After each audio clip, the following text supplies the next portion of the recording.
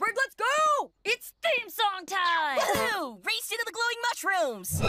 Not so fast, losers. In case you haven't noticed, this is a theme song takeover. Wait, what? My story is like 10 times cooler than yours, Anne.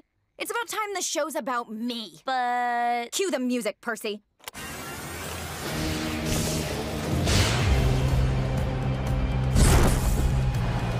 I showed up here in this swamp with all these nasty weird toad dudes. Their boss Grime threw me in jail with only bugs for food. But then I helped fight these monster herons and taught Grime to be a charmer.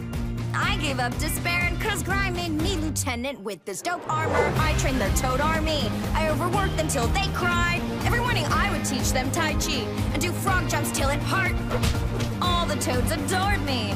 We even made these custom t-shirts. I got my own palace with this much improved cuisine.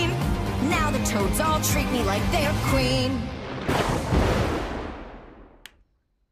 Wow. Great story, Sasha. But I think this show works better with me as the main character. Whatever.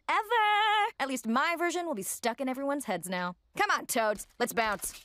And not to pick a fight, but I think I'm the show's main character. What? Yeah, I'm the normal frog boy who saves the human monster, and then I take care of her. Yeah, I don't think that's right, Sprig. Are you sure? Sprig, it's a fish out of water story. I'm the fish. Fish? Now you're just not making sense.